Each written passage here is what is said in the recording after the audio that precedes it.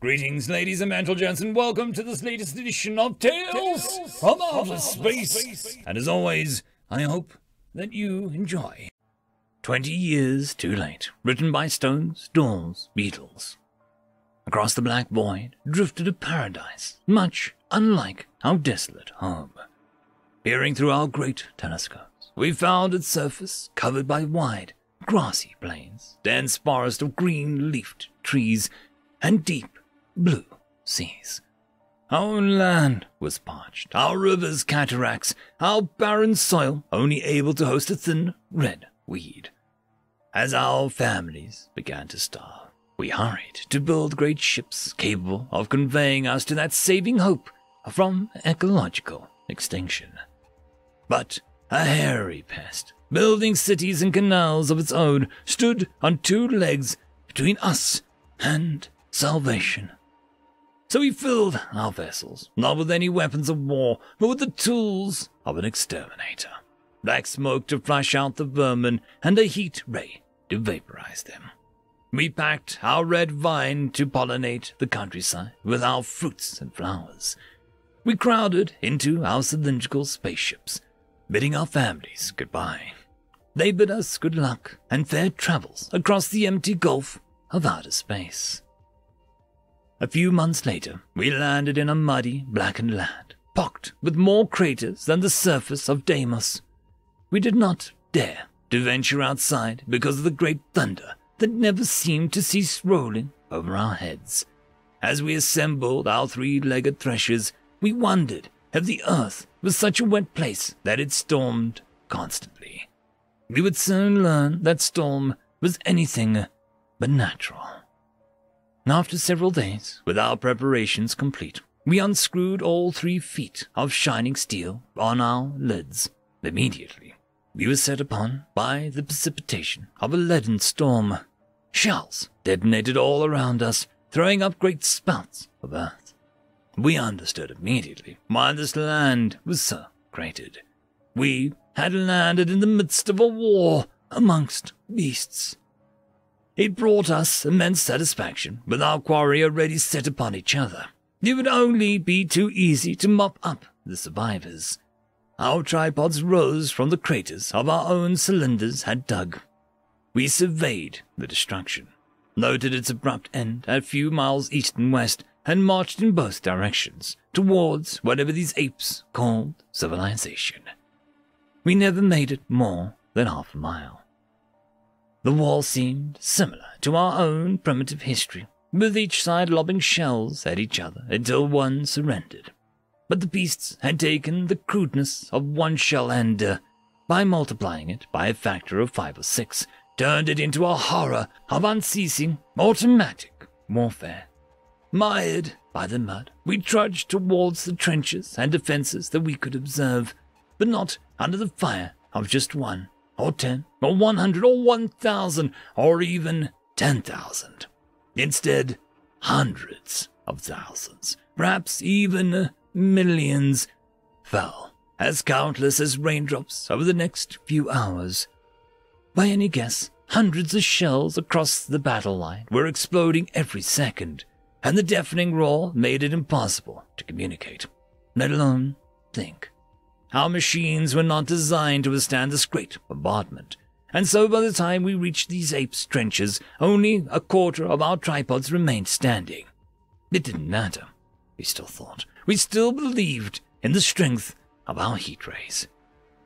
However, while they stayed crouched in their trenches, they were concealed from our deadly beams, even as we grew closer and closer to their lines our towering machines overshadowing their huddled shapes.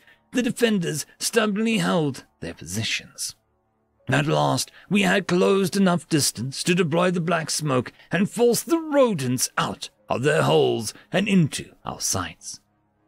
The grim, gaseous curtain descended upon the trenches, but we saw not a single one hop out of the trench. We realized they had no idea what horror was about to inflict itself upon their lungs. Yet, even as the clouds did fill up their defenses, we could not find even one coughing straggler climbing out from cover. We assumed as the smoke blew away with a brisk wind, that every ape in those trenches had perished. That assumption was shattered when the impossible greeted our scopes. Somehow they had come to this battle prepared for our black smoke. Whistles shrieked up and down our quarry's trenches, and out the top poured thousands of screams muffled behind air filtering masks. With grenades in hands, they charged our tripods, bringing each down by the legs. Our heat rays, mounted on the hood of our threshers, could not depress low enough to strike them dead.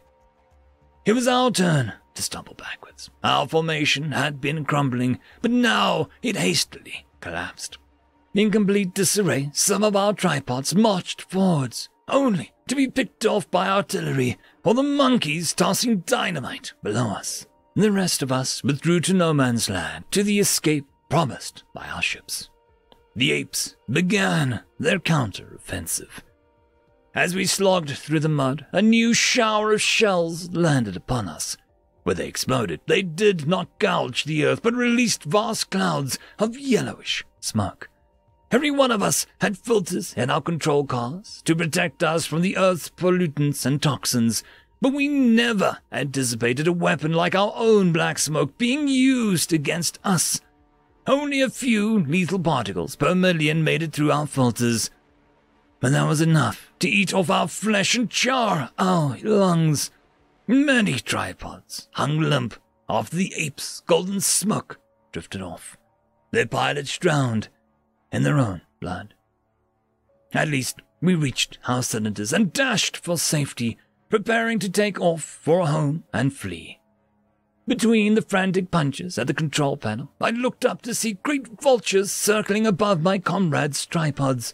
But these birds were made of canvas and wood, carrying guns and bombs.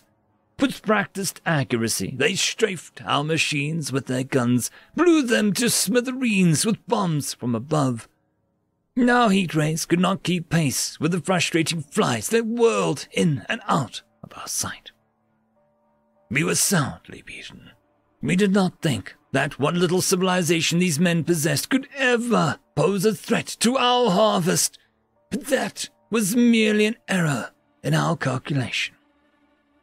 As I rocketed into orbit, safe from their planes, their gas, and their shells, I promised on my comrade's life that these men would not beat us again. I have a good reason to guarantee our victory. We have seen the absolute limits of human mechanical warfare, while they have only seen our tools of agriculture. They have yet to see our own blades and artillery and automatic fire. They have yet to see the true art of warfare, which turns the very atoms in the fabric of the universe into weapons of war. In these years since our humiliating defeat, we have taken the last of our dying planet's life and our last ounce of our own energy to prepare the final assault on their civilization. At last, then, we will have our garden paradise. In the year they call 1945, we will return to Earth. Surely this time they'll have no idea what kind of ultimate weapon we can unleash. End of story. Story number two. We should have listened. Written by Kaiser 5243. Recovered ship log. Designation Research and Recon, Sector 596364. Earth. Uh, audio. Log 1, Day 1. We have successfully entered high orbit of planet designation Earth. Prospecting team had a meeting with a life form that hunts local population and was warned not to pursue. Threat assessment shows this creature's threat is within allowed threat tolerances, and research for weakness and exploration for planned invasion will continue as planned. Interviewed hunter species designation Vampire appears to live in highly populated city centers. Samples will be taken from wooden and rural areas to avoid interaction. Log 2, Day 2. More human males located in woods area Specimens appear to be naked and soiled with dirt and debris. We believe they spent the night in the wooded area for unknown reasons. Specimens have been sedated and transported to Hold Cell 4 for further observation and testing. Log 3, Day 7. The group of humans display behavior similar to other pack animals that we have encountered. They seem to all follow the lead specimen A. Specimen A is the only human who has attempted to speak to us since their capture. The specimens, as a group, do not appear to be concerned with the capture, and specimen A only repeats the phrase, You should have listened to the leeches, when questioned. Log 4, Day 30. The specimens have begun pacing their enclosure. We are at this time not sure if this is self-soothing behavior, or if they intend to attempt escape. They have also been etching a countdown from 30 on the wall of their enclosure since their capture. The reason is currently unknown. When questioned, specimen A bares his teeth and repeats, You should have listened. Medical experimentation to begin tomorrow. Log 5, Day 22. Medical experimentation has proved both frustrating and alarming results. The specimen's ability to heal damage caused to their bodies makes it difficult to keep them sedated, and any surgical procedures are almost impossible. We are uncertain if this is common amongst humans. If so, physical warfare may be impractical. A larger specimen pool is required. Log 6, Day 29. A change has suddenly come over the specimens. They've begun laughing and pulling on the bars of their enclosure as if trying to bend them. Specimen A continues to shout, You should have listened! over and over. We believe an escape attempt is imminent. However, threat assessment shows the metal of the bars of their enclosure has a much higher tensile strength than human muscles can bend. Log 7, Day 29. Vile corruption suspected. They've escaped! Hells can be heard in the background. They've changed! Screams of once suspected the Beth crew. We, c- we cannot contain them. The medical officer stops short. Reason unknown. Heavy animal panting can be heard over the recording before the log stops. Recovery team dispatched, unable to make contact with research vessel. Invasion force halted until we can determine the fate of the ship and crew. End of story. The algorithm reckons you should be watching this video next, and I recommend that you should be always watching my video. So, click, and click, with energy! And yes, clicking that does help the channel. Thank you very much. I would just quickly like to give thanks to our Tier 5 members. Elithia, Barky, Feudicuel, Meridian 117, Cam Maxwell, Caspar Arnholtz, Albarden Gusta, Savage Patch Papa, and Lord Azrakal.